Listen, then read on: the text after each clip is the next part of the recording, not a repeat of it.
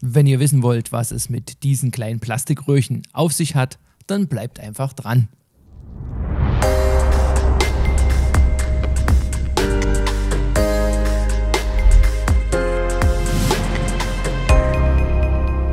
Hallo und herzlich willkommen, liebe Fotofreunde, zu einer neuen Folge meiner Fotostories. Heute mal nicht aus der Natur, sondern aus meinem Basislager.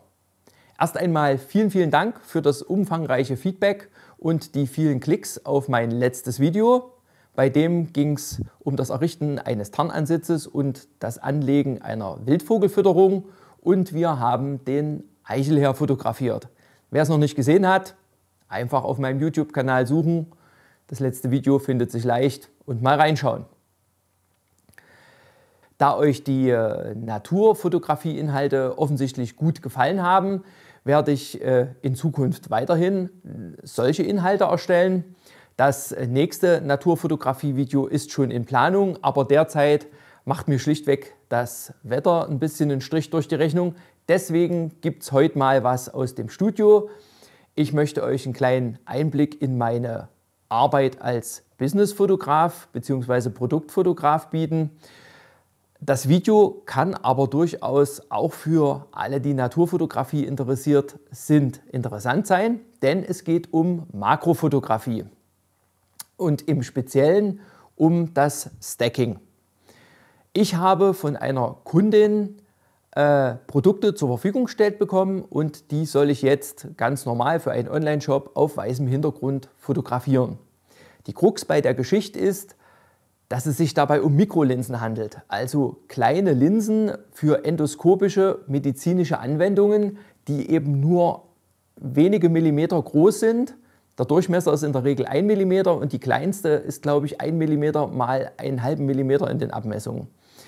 Äh, die anderen sind etwas länger, aber trotzdem sind äh, äh, diese Dinge kleine technische Wunder, aber es ist eine gewisse Herausforderung, diese Sachen eben entsprechend abzulichten. Und dabei könnt ihr mir heute mal ein wenig über die Schulter schauen. Das also nun der Aufbau für unsere Produktfotografie. Eine ganz, ganz einfache Geschichte. Wie gesagt, wir brauchen Produktfotos auf weißem Hintergrund. Von daher habe ich hier eine Acrylglasplatte liegen, die hinten leicht ansteigt. Also wir brauchen keine super duper große Hohlkehle, weil wir sehr kleine Motive fotografieren. Und der zu fotografierende Ausschnitt wird dann vielleicht 5, 6, 7 mm hoch sein insgesamt, den wir abbilden, sodass das völlig ausreicht, wenn das hier sanft ansteigt und wir haben dann auch einen schönen Schärfeverlauf im Hintergrund. Äh, Acrylglas deswegen, weil ich es sehr gern mag, wenn die Produktfotos etwas interessanter werden und durch das Acrylglas haben wir eben noch eine Spiegelung des Produktes drin, äh, die das Bild interessanter macht und auch ein bisschen wertiger. Deswegen das Acrylglas. Was haben wir noch? Logisch, unsere Produkte, die habe ich jetzt hier schon in der Hand. Die sind in diesen kleinen Plastikröhrchen, die ihr ganz am Anfang schon gesehen habt. Ich habe jetzt hier die Variante äh, äh mit äh, etwas größeren Linsen. Die sind etwa 7 bis 8 mm lang. Ich kann es euch nachher nochmal in einer Nahaufnahme zeigen oder ich blende die dann jetzt hier gleich nochmal mit ein. Äh, die werden wir nehmen und fotografieren. Hier soll eine Gruppenaufnahme erstellt werden aus fünf äh, beziehungsweise von fünf verschiedenen Linsen. Die werden wir dann hier anordnen und ihr werdet sehen, da werden wir unseren Spaß dabei haben, weil so einfach ist das gar nicht. Was haben wir noch?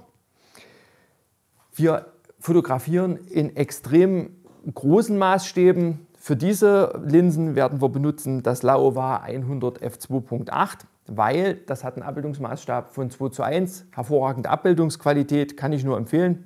Ich finde es eine super tolle Linse benutze ich schon recht lange äh, und macht sich hier beim Stacken auch sehr gut. Und äh, dann habe ich noch sehr viel kleinere Linsen, die halt wirklich nur 1 mm im Durchmesser, 1,5 mm im Durchmesser sind.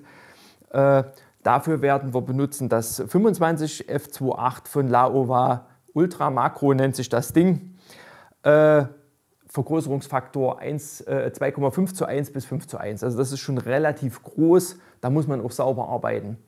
Ihr erahnt es, bei diesen Abbildungsmaßstäben haben wir eine enorm geringe Tiefenschärfe von wirklich wenigen Zehntel Millimetern. Und das äh, ist in der Produktfotografie natürlich nicht so toll, weil wir wollen ja das gesamte Produkt sehen äh, und nicht nur einen ganz schmalen Ausschnitt oder irgendein besonderes Detail. Äh, von daher macht sich dann äh, die Technik des Stackings hier wirklich, äh, ist hier wirklich sehr brauchbar und äh, hilft uns aus der Patsche, weil wir können dann äh, wirklich die Tiefenschärfe auf das gesamte Objekt ausdehnen, was wir fotografieren wollen. Na? Genau. Äh, wer schon mal Makros fotografiert hat, der weiß auch, also wenn wir dann hier auf Blende, was haben wir hier für eine Möglichkeit? 22 haben wir hier äh, als Möglichkeit im Maximum, hier nur 16.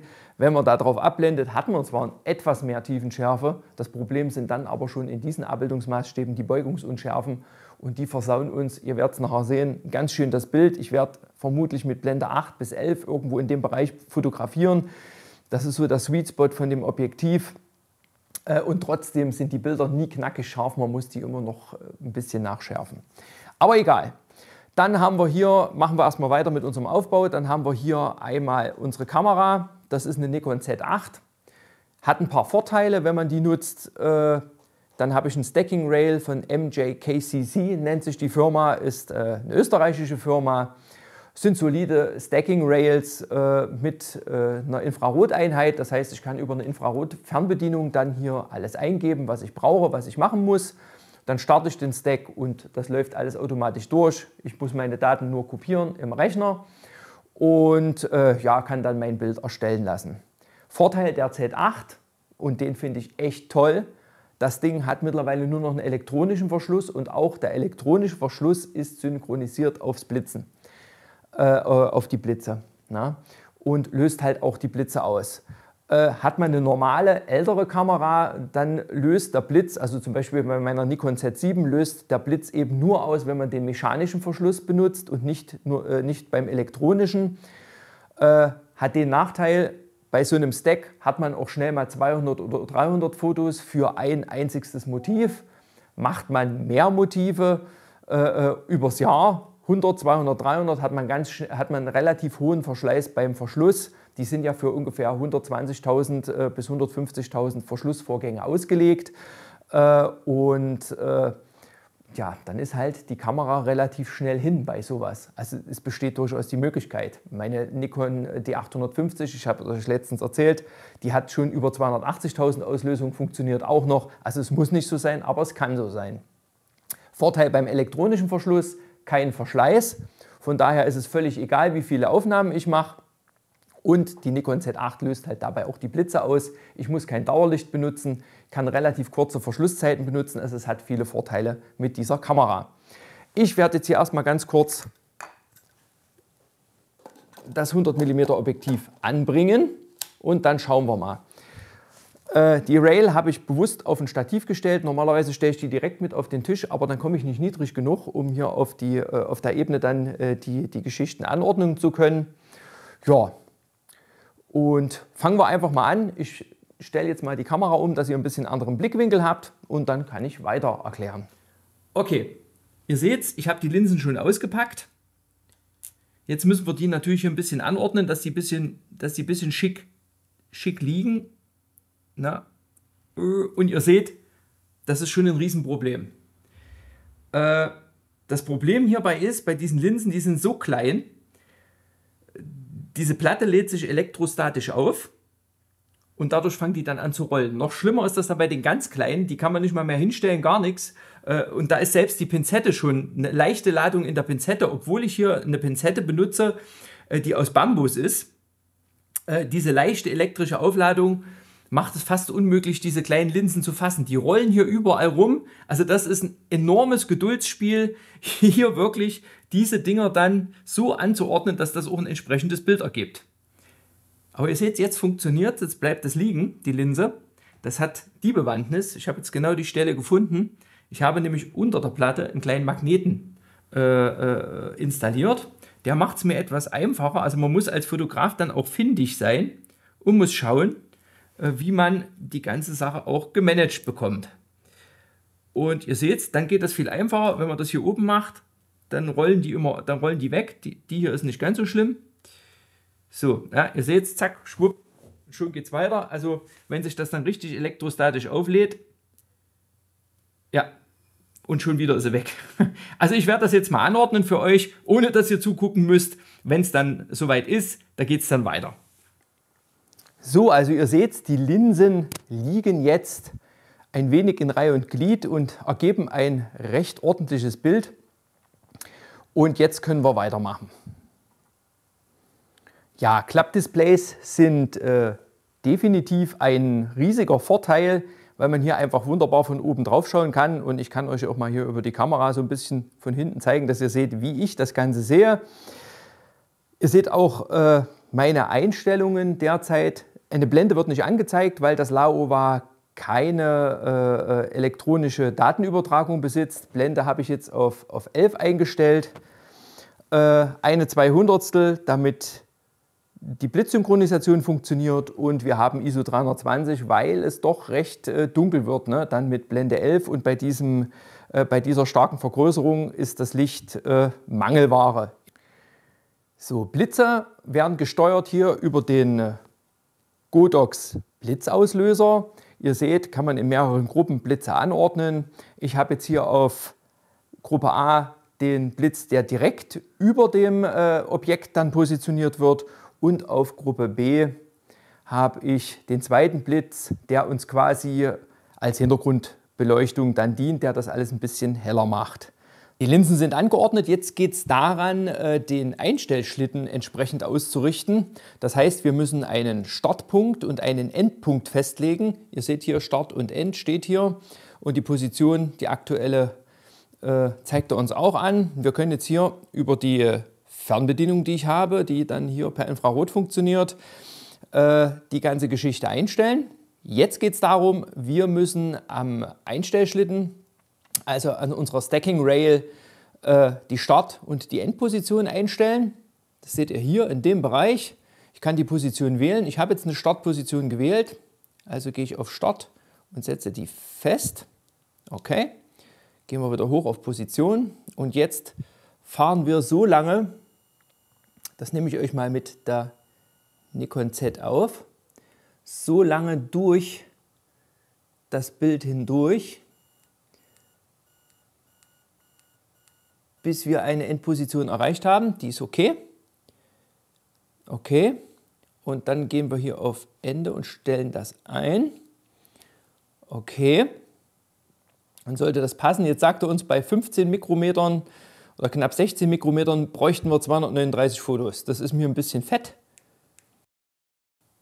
Ich denke, mit 110 Fotos sind wir gut bedient bei 34 Mikrometern und Blende 11 sollte das ganz gut funktionieren. Ja, und dann geht es eigentlich nur noch darum, das Ganze zurückzusetzen auf Startposition und dann kann, können wir den Focus Stack starten. Das Ganze haben wir jetzt auf Startposition zurückgefahren. Die Blitze sind eingerichtet und startbereit. Ich mache mal eine Testaufnahme. Belichtung passt, sieht sehr schick aus, die ganze Geschichte.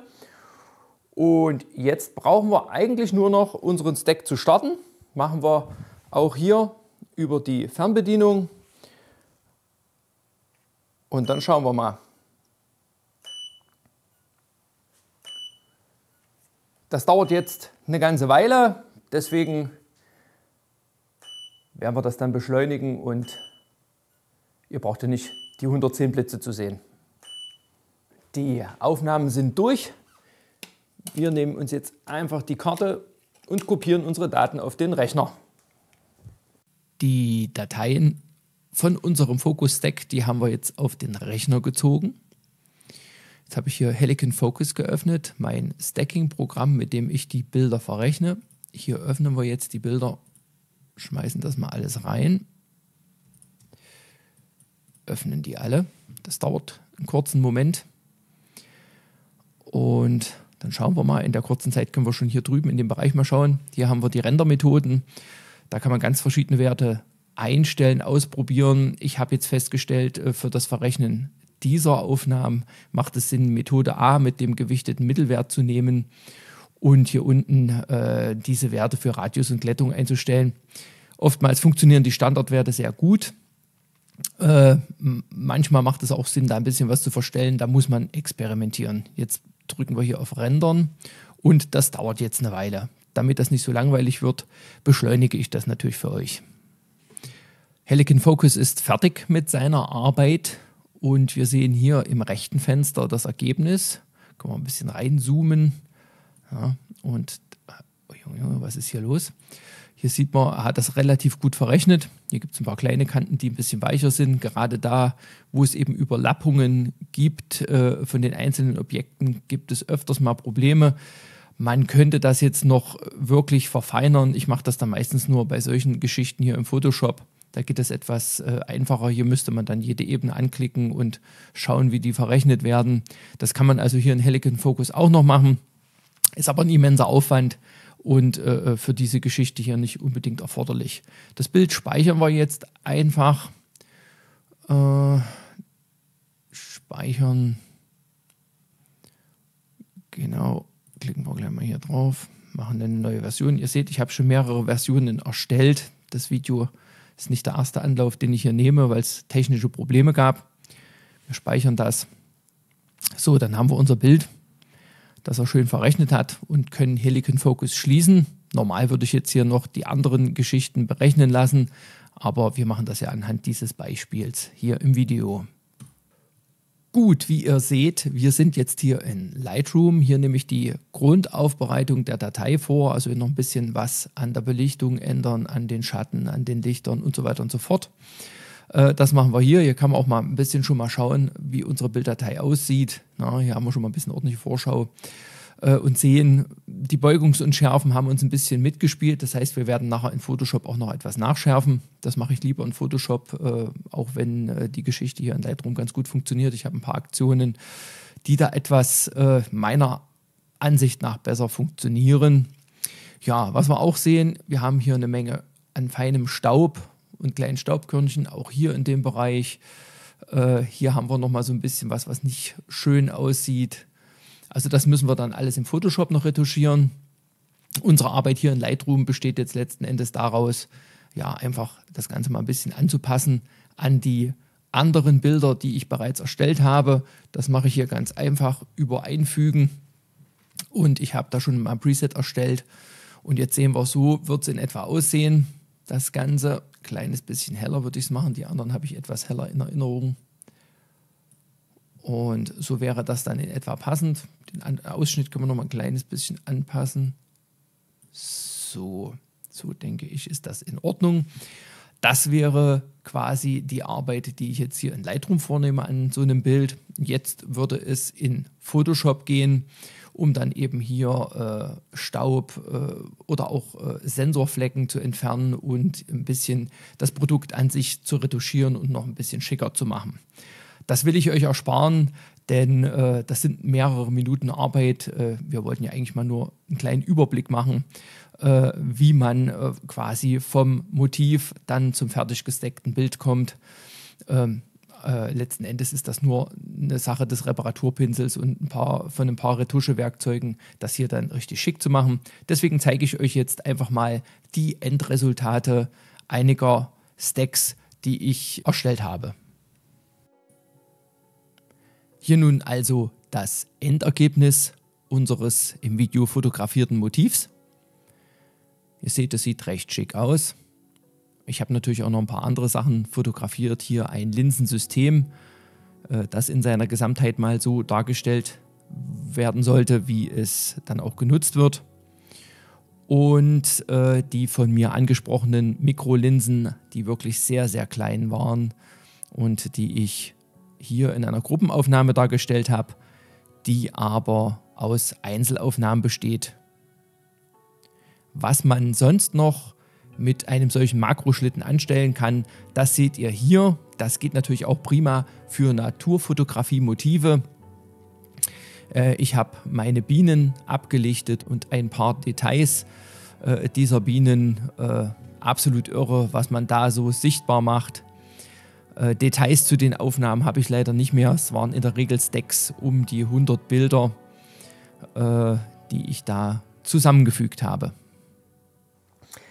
Ja, liebe Fotofreunde, das soll es auch schon gewesen sein für unseren kleinen Ausflug in die Gefilde der Produktfotografie. Ich hoffe, ihr fandet es genauso interessant und konntet ein bisschen was für euch mitnehmen wie äh, meine Naturfotografie-Inhalte. Wenn dem so ist, lasst einen Daumen nach oben da, schreibt mir gern eure Meinung dazu in die Kommentare. Wollt ihr in Zukunft vielleicht weitere Einblicke in meine normale Arbeit sehen. Und wer den Kanal noch nicht abonniert hat, abonnieren nicht vergessen, Glocke aktivieren. Ja, und dann bis zum nächsten Mal hier bei meinen Fotostories.